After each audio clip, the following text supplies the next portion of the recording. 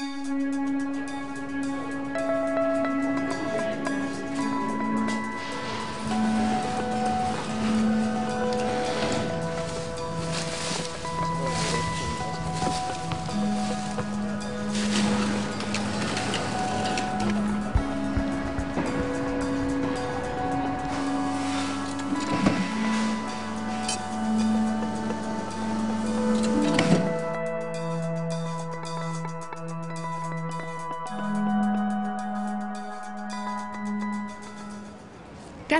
la Unió Europea gasta 2 bilions d'euros en roba de treball.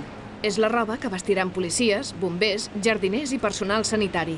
O la que trobem a qualsevol institució pública, com hospitals i escoles. Les administracions adjudiquen el subministrament d'aquesta roba a través d'un concurs públic. La majoria de les empreses beneficiàries són europees. La deslocalització del sector de la confecció als anys 80 va modificar els fluxos comercials i de producció. La roba que es consumeix a Europa, de moda i de treball, es produeix a països com la Xina, l'Índia, Turquia, Bangladesh i Marroc. És impossible quantificar el volum de la roba de treball per l'administració pública catalana, espanyola o europea que, que es fa al Marroc o que es fa en qualsevol altre país. Entre d'altres coses perquè les pròpies administracions públiques no saben on es fa la roba que compren. La pròpia lògica de la deslocalització fa que sigui molt difícil eh, conèixer les condicions laborals de les persones que, que intervenen en una cadena de producció. Precisament, la falta de control sobre les condicions laborals és el que fa que es pugui proveir un producte més barat que fabricat a, a Europa. No? Les administracions públiques tenen diferents tipus de, de proveïdors. Llavors pot ser que hi hagi un fabricant que guanya els concursos, que pot veure's impulsat per la competitivitat internacional, pels preus o pel que sigui, a subcontractar fàbriques que estiguin situades fora de territori europeu. Però també hi ha un altre tipus de, de proveïdors, que són distribuïdors, que treballen amb marques, eh, habitualment marques europees o marques internacionals. Aquestes marques segueixen una lògica molt similar a la del fabricant. Quan tenen puntes de feina, poden treballar amb proveïdors encara més petits, que són tallers eh, situats en petits locals o inclús amb treball domèstic, amb treballadores que s'emporten la feina a casa i que treballen per peça de roba feta. L'Albert Sales treballa a Setem, aquesta ONG d'origen català és una de les impulsores de la campanya europea Roba Neta, que pretén millorar les condicions laborals dins de la indústria tèxtil i conscienciar consumidors i governs. En el marc de la campanya, el 2005 va néixer el programa Compra Pública Ètica per promoure criteris ètics en la compra de les administracions públiques europees. Entenent que l'administració pública té molta més força com a, com a consumidor col·lectiu que un consumidor individual. Fins ara existia una guia de clàusules socials, però era una guia, eh, jo diria, que abarcava molts aspectes que ja estaven regulats per la normativa, però que d'alguna manera no eren suficientment pràctics per garantir eh, aquesta contractació responsable. I el que ens hem trobat és que, és que hi ha molt poques administracions públiques que hagin posat les més mínimes mesures per saber d'on ve la roba i per saber en quines condicions s'ha fabricat. Quan jo parlo de Generalitat em refereixo no tan sols a departaments de l'administració, sinó també a tot l'àmbit de sector públic, empreses públiques, consorcis, fundacions, que representen el 85% de la contractació pública de Catalunya. Què vull dir amb això? Que fins ara tenim un percentatge molt important en el qual no havíem actuat. Al setembre de 2011, CETEM va presentar l'informe Made in Morocco, la investigació analitza la traçabilitat social de la roba de les administracions públiques catalanes que es fabrica al Marroc. Actualment, el 96% de les exportacions de roba marroquina té com a destí el mercat europeu. El 2000, la Unió Europea va signar amb el país nord-africà l'establiment d'una zona de lliure comerç amb l'objectiu de reduir progressivament les barreres aranzelàries. A més, moltes empreses europees escullen produir al Marroc per la seva proximitat geogràfica. Ens hem centrat en Marroc a l'hora de fer aquesta, aquesta investigació perquè mm, és un país que té un sector tèxtil molt potent que atreu les inversions del sector de la confecció espanyol, eh, tant de moda com d'altres tipus de confecció. Des del 2004, el Marroc compta amb un nou codi de treball elaborat conjuntament per govern, empresaris i sindicats.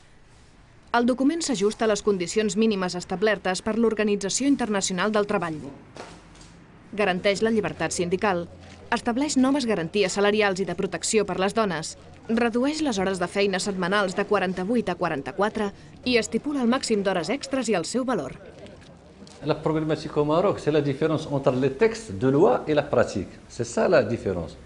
Dans mon expérience, j'ai constaté, constaté qu'une partie non négligeable, assez importante, des investisseurs marocains et espagnols ne respectent pas le code du travail.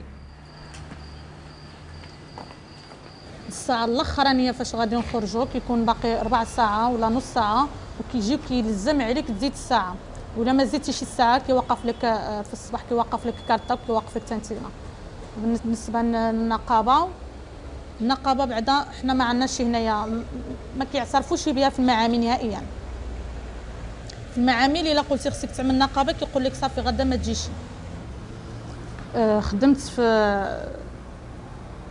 أربعة شركات. آخر شركة اللي خدمت فيها كان كنا خدمني ديال هاد اللباس ديال بومبيروس. دخلت بلا عقدة الشغل Aquesta treballadora prefereix restar en l'anonimat per por a perdre la feina. És membre de Tawassul, l'única associació de dones treballadores de tota Àfrica. Al Marroc, el 70% de la mà d'obra a la confecció són dones.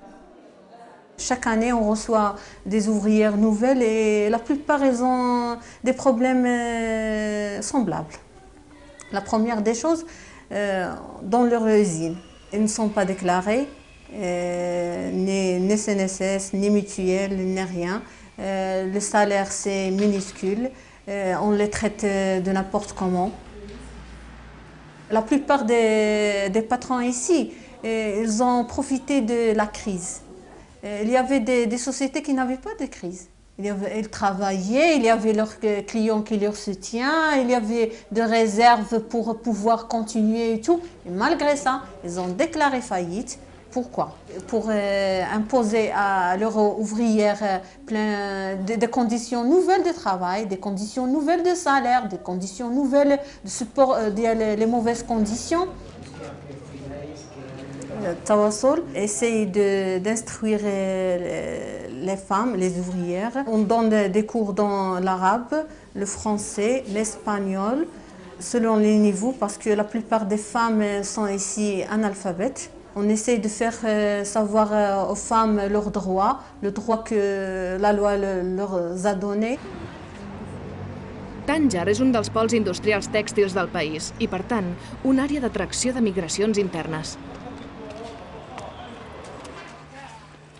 La Malika, originària de Kemiset, va arribar a Tànger fa 11 anys. Avui viu amb la Fatna, la seva germana petita. Les dues són obreres al sector del tèxtil en el qual es treballa sis dies a la setmana. الساعة الزرا ملي مبقاوش كيتمشاو لنا صافي ديك الساعات تعلمنا الماكينة تما وصافي عرفنا مدينة طنجة فيها فيها الخدمة وهذا وجينا هنايا تعلم جينا هنايا بدينا كنخدمو نكريو دار بوحدنا يعني مبلغ غالي بزاف. هذا بستين الفرنك و- ويا ربي ديك الستين الفرنك بعض المرات ما كتجبرهاش. إلا ما كنتيش خدام ولا شي حاجة كاين شي شهر ما كتوفر لكش ديك 60 الفرنك باش تعطيه وعساك إلا جبتي راجل راجل إلا جبتي شنو؟ زعما غادي يعاونك يعطيك الفلوس. لا. ها هما عندك 200 الفلوس وما قاداش براسك حق راجل اللي جيتي راه ديري التريكة كيفاش ديري تعيشي هاد التريكة؟ غتجلسي تقولي تجلسي كيفاش ديري تعيشي كيفاش ديري التريكة. يعني الزواج وهاد الخدمه هادي خصوصا بالثمن هذا كنظن مازال مستقبلا الا عفانا الله رجعنا ب 21 درهم الساعة يمكن Pour ce qui est du- de, la, de la confection, le salaire, le SMIC, donc maintenant, à partir du 1er juillet 2011, il est de du- 10 dirhams 91. C'est vrai que le SMIC, le SMIC au Maroc ne répond pas aux besoins du salarié, c'est peu. Ça va faire dans les 2200 dirhams, 200 euros par, par mois. C'est pas beaucoup, c'est vrai. Mais il faut dire que euh, ce SMIC-là, il dépasse de loin certains pays de l'Afrique et du monde arabe et de l'Asie. Una família marroquina de quatre persones en què les dues adultes treballin en la confecció tenen de mitjana uns ingressos mensuals de 400 euros. Segons el càlcul de CETEM, el cost dels béns i serveis indispensables per cobrir les necessitats bàsiques d'aquesta família ascendeix a 639 euros. Mais le, le problème des industriels dans la confection, ils pensent déjà avec ce SMIC, ils ne peuvent pas être compétitifs avec l'Égypte, avec l'Asie, avec la Roumanie, enfin généralement avec l'Europe de l'Est et tout ça, ils pensent déjà que c'est beaucoup. موديل ديال مونو اللي جابوا لنا نخدموا جابوا لنا واحد الشركة الشركة هي اللي كتعامل مع هاد مع هاد ماركة. وكانوا جابوا لنا واحد العدد. حنايا كان عندنا شغل قليل وكانوا جابوا لنا واحد العدد. وكنا خدمنا معاهم كنا عاوناهم. بالنسبة للمعاناه عانينا بزاف بزاف آه، آه، وأكثرية الطهار واليد لأن اليد ملي كتهز بياسة وهي ملصقة جوج ديال البياسات وفيها فور يعني مضوبلة على جوج ودابا ساعة كتهز كل مرة كتهز بياسة. يعني يدنا كنا كنمشيو مفروع عندنا في هذا. وبالنسبة للطهر والتصوب ديالو فيه فيه واحد شي مادة ولا ما نعرف المهم كيطلق واحد الريحة. الريحة بحال الخال بحال واحد الريحة آه، قوية بزاف وكتقدر تاثرنا حتى العينين. بالنسبة لعيني أنا عندي فيهم حساسية كانت كتأثر لي حتى على عيني. هذا هو الظهر الظهر والعينين والراس كيبقى يحرق بقوة منقوصه بالنسبة لواحد المادة كيطراسو بها كيقولوا له لكري ملي كيبقاو يطراسيو أنا بدا دائما مريض. شحال ما داز ديك الموديل دائما مريضه دائما مروحه ملي كتهضر معاهم تهضر معاهم تقول لهم عطيو لي لكري سبيسيال كيقول لك هذاك غالي. آه ملي كنكونوا مراتين يعني عندنا حنا عندنا الحق نمشيو بحالنا ويطلعوا لنا نص نهار ويديو لنا نص نهار ولكن إحنا ما كيعطيونا لا نهار ولا نص نهار صافي كتمرض.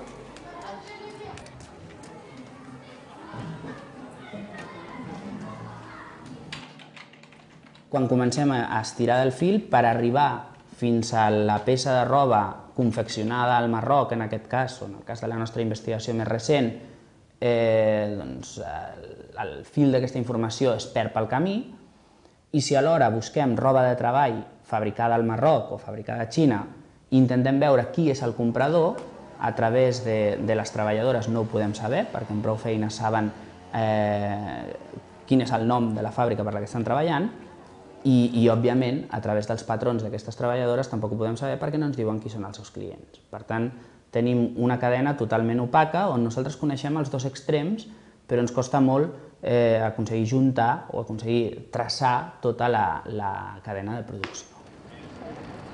A través de la creació de l'oficina s'ha posat en marxa un grup de treball integrat per diferents agents que intervenen en la contractació pública, representants de l'administració, però també representants eh, sindicals, eh, cambres eh, patronals i altres entitats. I s'està elaborant justament en el si d'aquest grup de treball una guia, un plec de clàusules eh, que pretenen unificar els criteris de contractació a nivell de Generalitat fins ara només teníem dades generals, però volem fer donar a conèixer a tota la ciutadania a qui s'ha adjudicat, en quin moment, amb quin import, eh? i eh, donar inclús el nom concret de l'empresa i l'empresa que ha subcontractat, si és el cas. Eh? Remarcant aquesta voluntat de transparència que eh, manté l'Oficina de Supervisió i Avaluació de la Contractació Pública. Albatros és l'única empresa proveïdora de l'administració catalana que ha permès gravar la fàbrica de Tànger on produeix. L'empresa té una certificació que garanteix els drets laborals, un requisit necessari per a subministrar la roba dels jardiners de Barcelona. El Departament de Medi Ambient i Serveis Urbans de l'Ajuntament de la ciutat va ser el primer de l'estat espanyol a introduir clàusules de responsabilitat social en els seus concursos. L'any 2005 comencem a incorporar les clàusules arrel de que el CETEM eh, ens proposa formar part de la xarxa catalana de compra pública.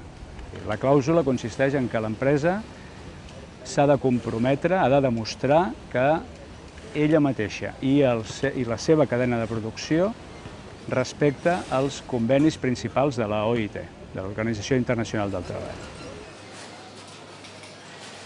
Un ajuntament que a dia d'avui vulgui incorporar totes aquestes voluntats en un contracte públic, segons la Comissió Europea, només ho pot fer a la, a la, a la fase d'execució del contracte.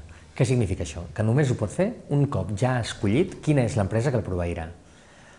Això és absolutament pervers i a part no té cap sentit, perquè un cop ja has assignat el contracte, ja saps qui ho farà, després és caríssim i dificilíssim retirar aquest contracte en cas de que tu creïs instruments per veure si compleix o no compleix amb això. Les directives europees de contractació pública són molt laxes i poc concretes en incorporar tots els criteris socials en les compres públiques. Tot i així, dins del marc europeu, cada país pot desenvolupar la seva pròpia normativa. La legislació espanyola, per exemple, va permetre a parcs i jardins d'introduir les clàusules ètiques als concursos per garantir unes condicions dignes. Això es pot demostrar de diverses maneres.